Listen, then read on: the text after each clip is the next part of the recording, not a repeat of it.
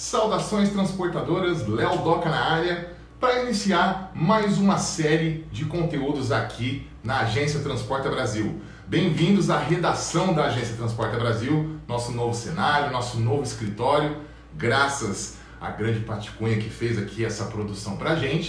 Para resumir aí o que está rolando no segmento de transportes. Muito obrigado aí a você que está com a gente, já Cinco pessoas ao vivo já aqui, acabamos de entrar, já tem o pessoal que transporta o Brasil de verdade. Você quer saber sobre caminhão? Você quer saber sobre frete, sobre transporte, sobre tudo que acontece na vida em movimento? É só entrar aqui, ó, na nossa agência para você ficar sabendo tudo com detalhes em tempo real, porque aqui é jornalismo 100% à disposição de vocês que transportam o Brasil. E vamos às notícias, lembrando que assim, o ano começou muito bem para o segmento de transportes, olha, tem um pessoal ao vivo com a gente aqui, ó. Bom dia, o Robson de João Pessoa. Olha só, o pessoal da Paraíba tá aqui com a gente. Robson, um abração para você, viu? Muito obrigado por estar com a gente. Robson Lacerda, alguém que trabalha aí no trecho, que está acompanhando com a gente, viu?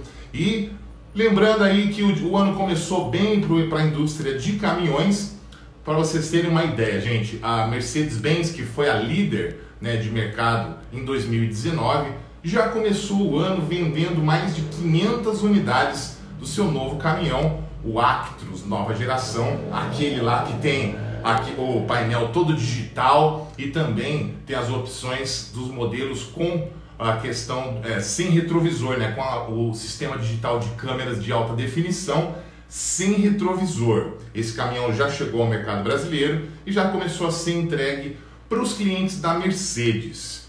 Do lado da Volvo, teve também notícia boa, a questão da liderança deles, o FH 540 6x4, foi o, o veículo, né, o modelo mais emplacado de 2019, também liderando o mercado, mostrando a força da família FH. É caminhão bruto, é caminhão que o pessoal gosta muito, que está sempre aí entre os mais vendidos. E também na concorrência, na Scania, teve notícia boa também. Os caras lançaram a nova geração de caminhões deles no finalzinho de 2018 e tiveram em 2019 aí nos dois primeiros meses do ano que arrumar a casa, tiveram que fazer toda uma adequação aí da fábrica de São Bernardo, perderam dois meses né, de venda, janeiro e fevereiro, e a partir de março do ano passado eles uh, entraram aí com a nova geração no mercado e mesmo tendo só 10 meses para trabalhar esses novos caminhões, eles tiveram aí o R450 da nova como o segundo caminhão mais vendido do Brasil. Uma boa performance aí sobre os caminhões da, da, da Scania. E se você quiser saber mais detalhes sobre isso aí, é só ler aqui na Agência Transporta Brasil no www.transportabrasil.com.br. E olha só, pessoal, tem mais coisa para acontecer esse ano, tem muita novidade por vir aí. Do lado da Iveco, por exemplo, a gente está aguardando que dentro de mais ou menos um mês a gente vai ter a novidade aí do lançamento da nova Daily, que foi mostrada na Fenatran. Vocês viram aqui com a gente na nossa cobertura e finalmente a gente vai poder botar as nossas mãos na nova Daily, que está linda e que está completamente renovada. Queria mandar um abraço para Andressa Silva, que está assistindo a gente também aqui. Pessoal que transporta o Brasil, obrigado demais, viu? E olha só, a partir de agora, todas as semanas, toda segunda-feira, você tem um encontro marcado comigo aqui na redação do Transporta Brasil para falar sobre o que tem de conteúdo rolando nas nossas redes sociais e no nosso portal e para falar o que está acontecendo no mundo dos transportes. Sempre aqui. E olha só, se você tiver uma pergunta, alguma dúvida, se você quiser saber alguma coisa, manda para cá que o Léo Loca responde, viu? Se eu não souber, eu dou um jeito de pesquisar e encontro a resposta para você, com certeza. Beleza? É isso aí. E vamos seguindo aqui. É, essa semana promete aí mais algumas coisas e a gente tem algumas notícias dessa semana que, acontece, que estão acontecendo nesse momento que a gente queria passar para vocês. Uma coisa interessante é que o sistema de consórcios, uh, o consórcio é uma coisa muito brasileira, né? O pessoal utiliza o consórcio como um meio para poder comprar o seu caminhão, para poder comprar o seu ônibus, até porque é muito difícil a questão do crédito hoje em dia, né? E consórcio, o pessoal conhece aí, sabe que é um meio mais tranquilo para você, para você simplesmente fazer a sua compra. Você pode programar, você pode uh, fazer o seu planejamento. E boa notícia aí no segmento de consórcios, olha, estou aqui com a notícia. Os consórcios para veículos pesados, que incluem caminhões, ônibus, semi-reboques, implementos em geral, tiveram aí um aumento, uh, um crescimento de 8% nos participantes de 2018 para 2019 e teve um aumento também de 28% nas vendas de novas cotas. Isso aí é muito importante porque hoje em dia está muito difícil ter acesso né, para você poder comprar o caminhão. E a, a associação das, das empresas que fazem aí o consórcio está comemorando aí o aumento nas contemplações, no número de crédito comercializado e também nos participantes das cotas. Olha aí, queria mandar um abraço para Elaine Bueno, que mandou aqui um salve. Ela falou, pensou que a novidade da Iveco seria cabine leito nos leves. Não sabemos. A gente sabe que vai ter novidade na Daily, mas nos outros caminhões a gente ainda não sabe. Fica a dica aí para o pessoal da Iveco, que o pessoal está pedindo aí a cabine leito nos leves. Né? A gente viu isso aí bastante acontecer no ano passado, quando a gente soltou o vídeo sobre o, o novo Acelo automatizado. E é isso aí. E também tem aqui mais uma notícia da Volvo. Olha só.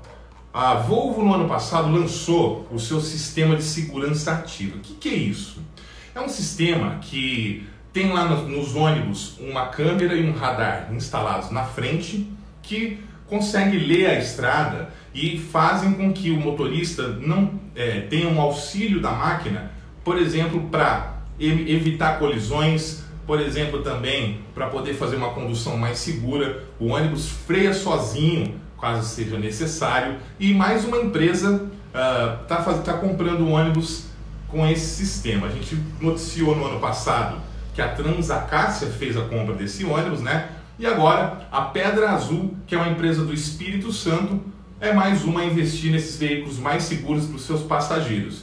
Eles compraram dois novos ônibus Volvo com radar anti-colisão, que são esses ônibus aí são capazes de prever o que está acontecendo pela rodovia e fazer aí a frenagem, trazendo mais segurança para o motorista e também para os passageiros que optaram por viajar por essa empresa. Lembrando que todo esse sistema anti-colisão da Volvo, ele representa aí mais ou menos um acréscimo de apenas 25 mil reais no preço final do ônibus. Então, não é um investimento tão caro assim e que pode fazer a diferença para o dia a dia do motorista e dos passageiros que estão utilizando esse sistema. Só para você ter uma ideia, ó, além do radar de anti-colisão, ele tem um alerta de mudança involuntária de faixa. Por exemplo, se você estiver comendo faixa para algum lado, ele avisa, ele faz uma, uma vibração, um alerta sonoro e também visual para o motorista. E ele tem também um assento vibratório que não deixa o motorista é, ficar desatento e que faz aí os avisos necessários para que ele fique ali sempre ligado na, no seu trecho, sempre ligado para fazer aí o seu trabalho com segurança com qualidade, porque é o que todo mundo espera, né? Todo mundo espera que as pessoas transportem o Brasil de uma forma segura, responsável e a Volvo está ajudando aí nesse segmento de transporte de passageiros. E lembrando também que, olha só, a gente falou da Mercedes, né? Olha só, o novo Actros, que é o caminhão extra pesado da Mercedes, ele já vem com o sistema ABA, que é esse sistema também de anticolisão, instalado de série. O que acontece também com a nova Sprinter. Olha, a Elaine está fazendo aí, ó.